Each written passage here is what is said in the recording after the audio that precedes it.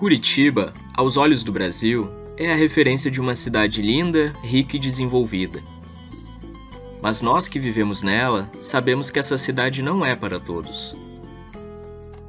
Quando o plano urbanístico de Curitiba foi desenvolvido, sua base foi construída pelos eixos estruturais de desenvolvimento.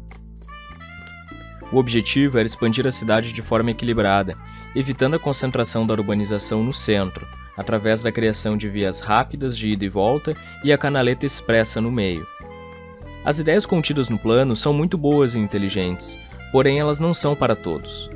Quando um planejamento urbano assim é aplicado apenas em algumas áreas, desigualdades sociais são produzidas. O desenvolvimento ocorreu apenas em zonas principais dos eixos estruturais, e diferente de bolsões de pobreza como vemos em Rio de Janeiro e São Paulo, formou-se em Curitiba pontos invisíveis de ocupação da periferia, e diversos pontos invisíveis da cidade, mascarados pelas vias rápidas e sua distância das zonas centrais. Esses pontos são tão invisíveis que um turista sai do aeroporto pela Avenida das Torres e vai até o centro, vendo apenas a Curitiba de primeiro mundo. Esse contexto criou uma divisão social que, com o expandir da cidade, gerou um conflito de interesse entre as grandes construtoras que querem usar o solo para o lucro no setor imobiliário e a população mais necessitada, que ocupa o solo para morar.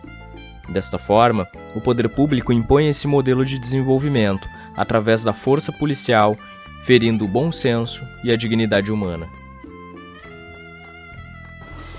E o que propomos para que Curitiba seja mais solidária? Que as políticas públicas atinjam essa parte invisível da cidade, que atinja as periferias, as ocupações é, regulares e que a gente, através dessas políticas, né, como de educação, de saneamento básico, de saúde, é, de mobilidade, possamos trazer essas pessoas à cidadania.